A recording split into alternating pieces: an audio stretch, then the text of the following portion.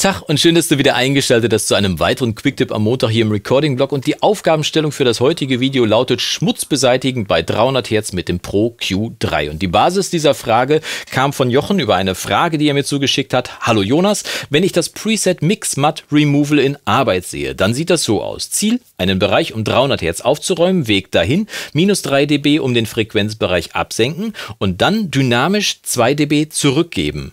Beobachte mal die Kurve dieses Presets. Es sieht so aus, wenn Stille ist, 3 dB absenken, kommt Ton, dann um 2 dB zurückgeben, also diesen Frequenzbereich wieder lauter machen. Somit ist doch wieder matt mehr vorhanden. Matt ist ja heißt Schlamm oder Schmutz auf Englisch. Ähm, also ich verstehe das wirklich nicht. Du, wenn du mal Zeit hast, wäre ich um deine Hilfe sehr dankbar. Viele Grüße, Jochen. Erstmal Gruß zurück, lieber Jochen. Und ja, ich hatte mittlerweile Zeit, mir das Ganze mal anzuschauen. Ich habe ja nicht alle Presets durchgeguckt vom äh, Pro Q3, aber dieses ist wirklich sehr interessant, weil es tatsächlich zwei Sachen gleichzeitig macht. Zum einen senkt es um äh, 2 dB bei 300 Hertz ab, es sind 2 dB, nicht 3. Äh, und zum anderen gibt es die dynamisch wieder zurück. Warum? Ne? Warum erst absenken, um es dann dynamisch wieder zurückzugeben? Ich erkläre es mal am Beispiel äh, von diesem Song, den ich hier gerade aufgemacht habe und habe das äh, äh, Preset hier mit dem äh, Equalizer jetzt einfach mal auf die Summe draufgeladen. Äh, gehen wir das Ganze mal mit zwei Fragestellungen an. Zum ersten, warum 300 Hertz? Ganz einfach, ich habe mal einen anderen Equalizer vorbereitet und wir hören uns einfach mal an, was erstmal dieser Bereich bei 300 Hertz ist. Ne? Ich habe hier den ganz normalen Pro EQ, der heißt fast ähnlich bei Studio One, den Pro EQ äh, angemacht und wir hören mal, was passiert, wenn wir bei 300 Hertz absenken. Und ich hoffe, dass du jetzt Kopfhörer auf hast oder dass du jetzt über eine gute Abhöre hörst auf jeden Fall oder äh, wenn du nicht so ganz äh, trainierte Ohren haben solltest, versuch mal zu hören, ob du wirklich einen Unterschied hörst, wenn ich 2 Dezibel bei 300 Hertz absenke. Ich finde, es ist gut hörbar und es räumt den Mix gut auf, aber achte mal drauf, vielleicht kannst du jetzt auch ein bisschen deine Ohren trainieren. Also, ich mache das mal erstmal ohne und dann schalte ich das mal an und bin mal gespannt, was du dazu sagst. Hören wir mal rein. Bye.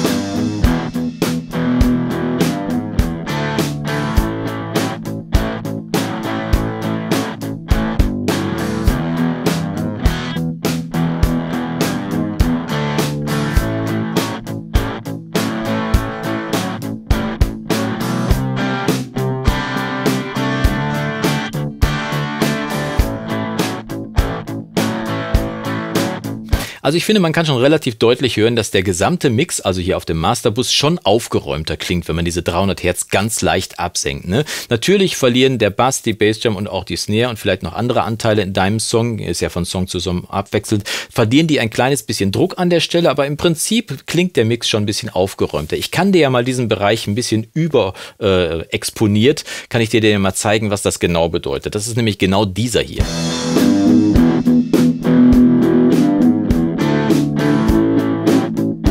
Wenn er so überbetont ist, dann weiß man auch sofort, von welchen Frequenzen man hier eigentlich spricht. Es klingt schon so ein bisschen telefonisch, nasalig, dunkel, belegt irgendwie. Und klar, wenn das dann weniger ist, nämlich um genau diese 2 dB, dann klingt es schon charmanter.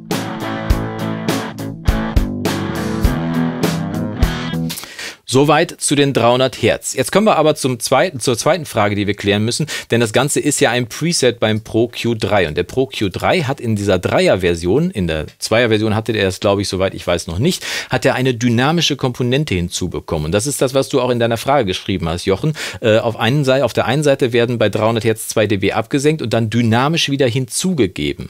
Jetzt äh, die dynamische Komponente hier im Pro Q3 ist äh, ja dynamisch, aber bei weitem nicht so aus ausgewachsen wie beim Multiband-Kompressor zum Beispiel, den die haben. Ne? Also ein äh, Kompressor, der auf verschiedenste Frequenzbänder wirken kann. Aber er ist zumindest schon mal so weit, dass er auf der einen Seite komprimieren kann und auf der anderen, äh, auf der anderen Seite, so sagt man es glaube ich, auf der anderen Seite aufwärts expandieren kann aufwärts expandieren. Äh, was ist denn ein Aufwärtsexpander? Gibt es auch einen Abwärtsexpander? Ja, den gibt es auch. Äh, man unterscheidet zwischen diesen beiden. Der eine ist im Prinzip der Abwärtsexpander ist ein Noise Gate nennt man zum Beispiel äh, das äh, Plugin, was also zu einem Noise Gate kann man auch Abwärtsexpander sagen.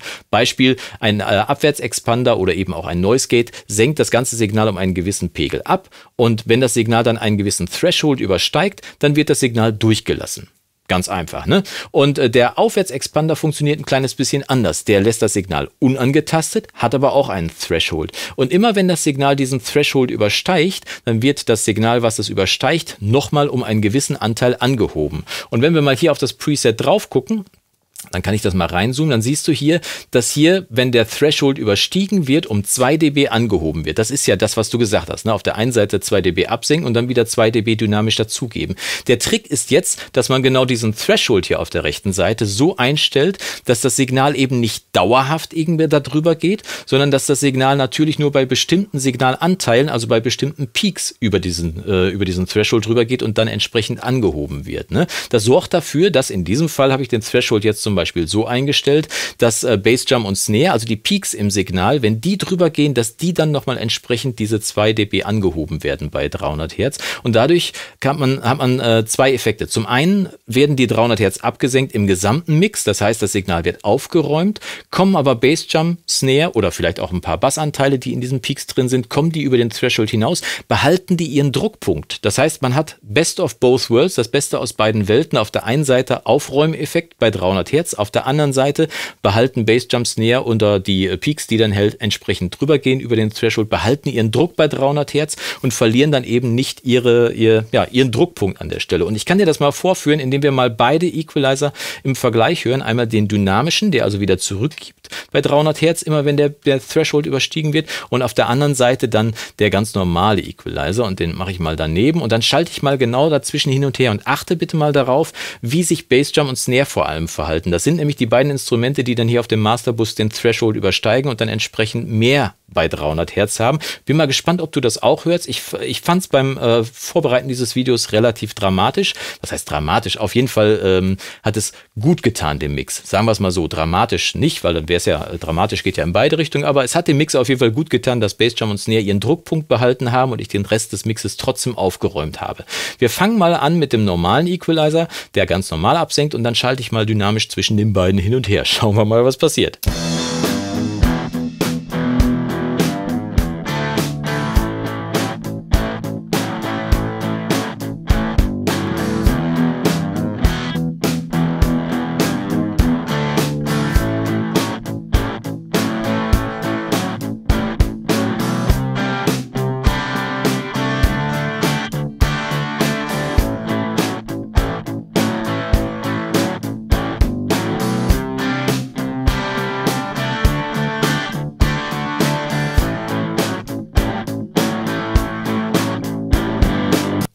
Also ich finde, es fällt schon deutlich auf, dass es auf der einen Seite der aufgeräumte Mix ist mit diesen 300 Hertz äh, 2 dB Absenkungen, auf der anderen Seite Bassdrum und Snare, also genau die äh, Signalanteile, die über den Threshold hinausgehen und dann aufwärts expandiert werden, erweitert werden, dass die dann trotzdem ihren Druckpunkt behalten. Und das ist der Sinn und Zweck, glaube ich, von diesem, von diesem Preset, äh, in dem man beide Komponenten miteinander, gegeneinander, füreinander einsetzt. Vielleicht hast du aber da draußen auch einen Einsatzzweck für dieses Preset oder für einen Aufwärtsexpander, irgendeinen Lieblings äh, Einsatzort, möchte man sagen, wo du einen Aufwärtsexpander einsetzt, dann schreib doch gerne mal unten in die Kommentare rein. Ich bin mal sehr gespannt, wo du der dich verliebt hast in einen Aufwärtsexpander und diesen einsetzt und auf diesen gar nicht mehr verzichten möchtest. Entweder als dynamische Komponente im Pro Q3 oder als einzeln stehendes Plugin, das du vielleicht separat einsetzt bei irgendwelchen Drums, Bass, Gitarren oder sonst wo irgendwie. Schreib's uns unten gerne in die Kommentare und ich bin sehr gespannt, was die Recording Blog Familie da an Wissen zusammenträgt und ich hoffe, dieses Video hat dich mehr aufgeklärt, als es dich verwirrt hat. Ähm, es ist schon ein schwieriges Thema. Ich gebe es zu. Man muss das wirklich verstehen, dass da auf der einen Seite die Absenkung, auf der anderen Seite die dynamische Anhebung ist. Aber ich hoffe, dieses Video hat dir ein kleines bisschen geholfen, auch dir, lieber Jochen, das Thema ein kleines bisschen mehr zu verstehen. Und es macht wahrscheinlich eher Sinn, dieses Preset auf der Summe einzusetzen, als auf Einzelsignalen. Wir sehen uns auf jeden Fall die Tage wieder zu einem weiteren Video hier im Recording-Blog. Und bis dahin wünsche ich dir vom Guten und das Beste. Mach's gut und Yassou!